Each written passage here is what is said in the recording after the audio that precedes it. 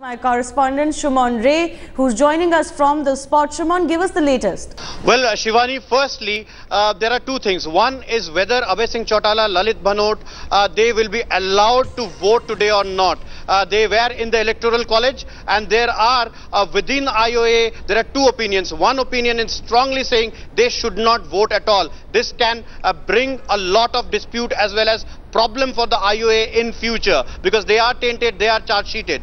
Uh, also, uh, we saw in the meeting uh, Jagdish Tytler, uh, mm, uh, the, these are some of the names which are uh, which are objectionable. Having said that, the second thing that has come into notice is the inner bickerings still going on as they are about to vote.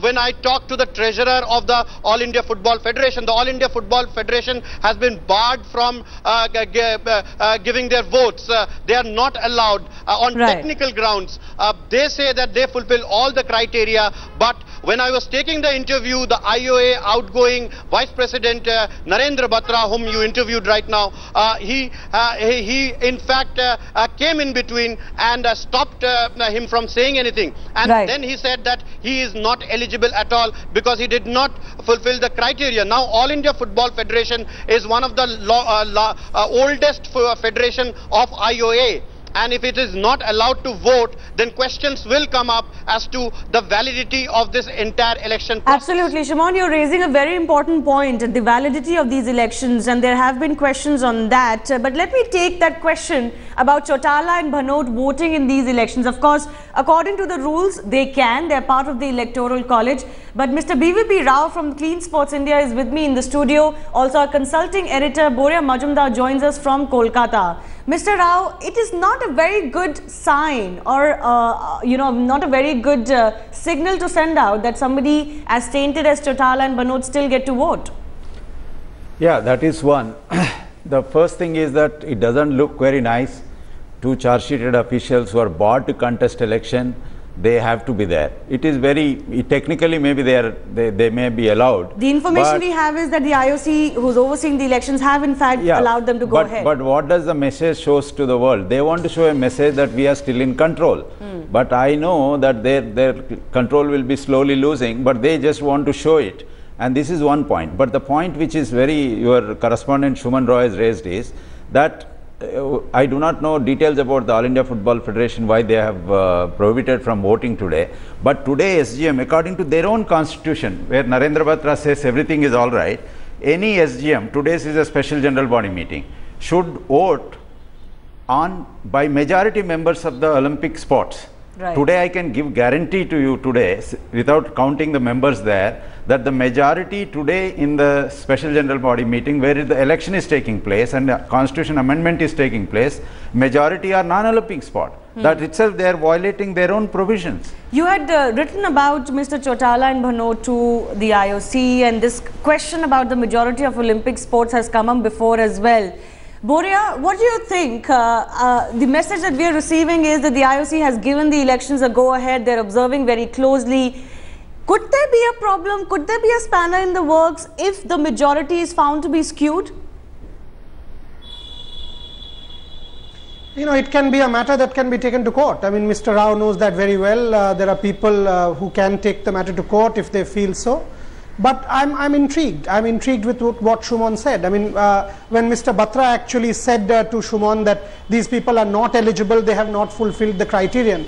I'm interested in knowing what are the criterion that they have not fulfilled because All India Football Federation, especially in the light of the fact that India is hosting the Under 17 World Cup two years down the line, they are a very important association. I mean, how can you sort of say they can't vote, they have not fulfilled the criterion, then tell us what are the criterion they have not fulfilled and why is that, uh, uh, that the case. Secondly, Mr. Rao is raising an important point that it doesn't send a good signal with uh, Lalit Bhanot and Chautala out there. If you are not contesting by your own volition, I mean, just stay away by your own accord you are not contesting, you've given up because of certain taint, uh, the whole world knows you are charge sheeted, stay away because we don't want you there. I mean, it sends out a wrong signal that this is actually a reforms process and a process of cleansing. It is not sending out the best signals because ultimately right. you can think or you can interpret that this is all happening by proxy.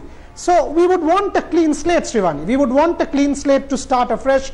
That I don't think is happening fully. But at the same time, you know, if, if the athletes get empowered, whatever way you get empowered, because reforms cannot happen overnight, it's a, it's a periodic process, as Mr. Rao knows. So that Yeah. I welcome. Absolutely. We've won a major battle getting Mr. Chautala and uh, Bhanot out, but there is lots still le- left to be done. Shumon, when can we expect the results to come out?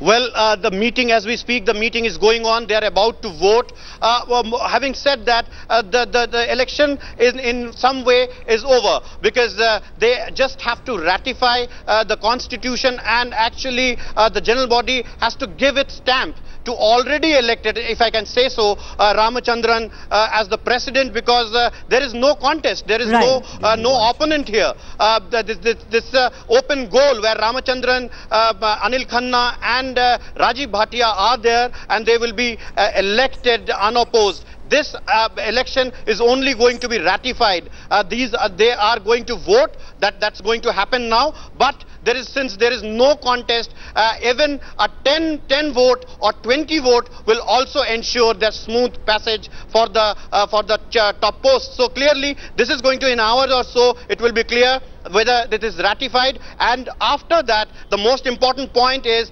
whether Chautala and Bhanot gets to vote and whether they vote or not because this can actually uh, invite IOC to pr- probably take notice and take further action as well. Right. Chautala and Bhanot are in fact voting. They have been given the go ahead. Uh, but uh, there are still lots of questions pending on these elections. Uh, as Shumon was saying, this is a unanimous uh, election. There's there, there- there's no opposition to the candidate, so there's really nothing that uh, one can uh, expect to go wrong in these elections. Ramachandran will be the next president of the IOA. Mr. Rao, you wanted to make a point. You know, what I wanted to make a point is that there is 150 or 60 people sitting there. But there are so many irregularities as you have uh, noticed yesterday. Yeah. Uh, John Kharshiing from uh, Meghalaya Olympic Association has raised that the nominations were all collected by a few individuals and they settled their people at various places and then gave it to the election commission. Neither election commission raised objection nor any of the members except John Kharshiing today. I heard from uh, inside information that John raised it and we congratulate John from our uh, organization that there should be more and more people in IOA General Assembly. They should talk what is truth and uh, they, they should take forward. And I'd also request you to uh, interview John when he comes out of it and then make it a, a kind of a uh, information to the audience, uh, your audience across the country that what are the irregularities a member who is sitting there thinks, which has been right. rejected by the judge. And I also like to raise a point. These election commissions, these retired judges are not doing their job.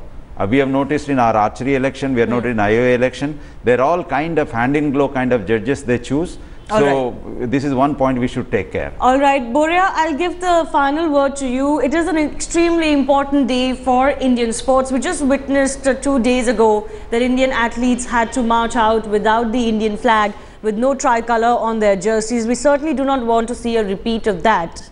Uh, we can expect the return of for India into the Olympic fold to be smooth from here on now.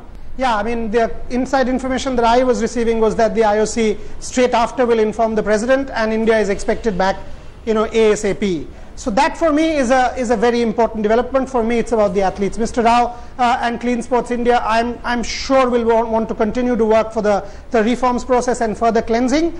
I would want to work as well. All of us will want to work as well from the media. But the fact of the matter is, let's empower our athletes. Finally, from 5th of December 2012 to today, it's been a period of shame. Finally, hopefully, it's coming to an end, at least partly so.